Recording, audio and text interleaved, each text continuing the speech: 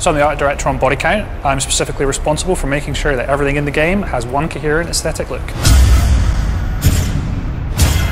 So in Bodycount, you've landed in a really, really torn up, war-torn world. It's an old world, it's a dying world. It's a very unusual way to start a game. And we drop the parachute into what's effectively very old sort of British colonial style town. And from that point on, all the different stages that you go through are completely different to the last one.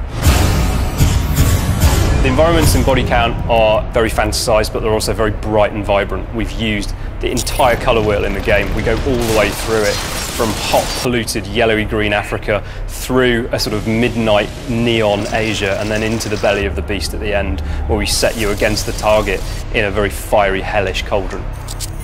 I wanted it to, the colour to sort of match the mood.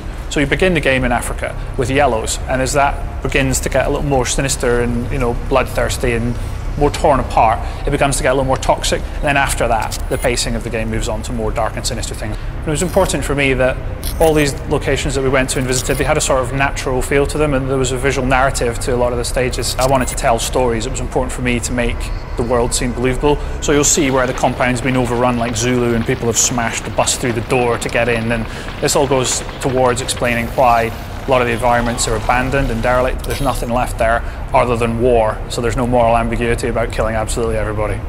So you're a soldier fighting for an organisation known as the Network. You think that you're being sent in to fight the good fight and mop up the conflicts around the world that the governments of the world don't want to take care of themselves.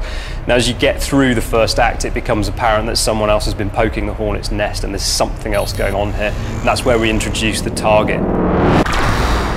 The target are the real threat, they're the real bad guys.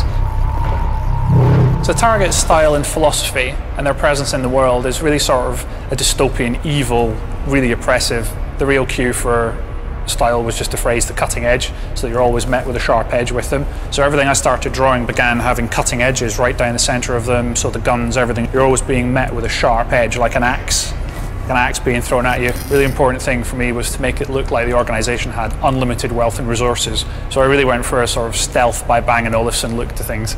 A lot of the reward for the player is the first time you come up against a target and the buildings are going to be very tough, they're going to be very hard to get into. We get inside their building and the initial frustration of not being allowed in is rewarded by the fact that you really do become a bull in a china shop for these things. They don't expect you to be inside, so you're able to completely destroy all the glasswork, all the ceramic things. Bodycount's AI is completely class-based, so the idea is that we've put these different classes together um, that operate in very different ways and have different behaviours. So, for example, we've got a medic in there who can who can revive fallen soldiers. We've got a scavenger who will steal the game's currency intel from you and stop you from getting access to your upgrades. We've got heavy tank classes.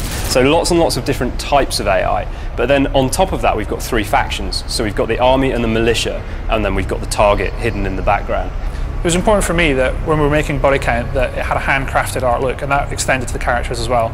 Each of the factions have their own unique sort of signature colours, and all of those characters are sort of styled and branded to be very, very different. Now, whenever these factions meet each other in the battlefield, they'll fight in a completely dynamic way, and that class-based behaviour on both sides will dictate how that battle plays out. It's different every time, and it's going to be a different experience for you each time you go in and attack that firefight. A lot of Bodycount's uniqueness comes from the way in which we've used shredding and destruction, so we're not using it for set pieces, we're actually using it in the second-to-second -second experience. To be able to go into a world that looks really, really nice and it's really aesthetically pleasing, and then actually start destroying that world and smashing it to pieces is just really satisfying.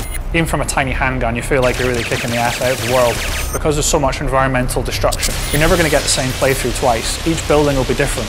What makes Bodycount worthwhile for me, what makes it better in that sense, is the fact that we've stepped into some slightly different territory and we've produced a game that's got its own strong identity and doesn't deliberately set out to clone what other people have done. Bodycount's the best thing since sliced bread before or after, assuming that you can actually destroy the sliced bread with a large heavy machine gun.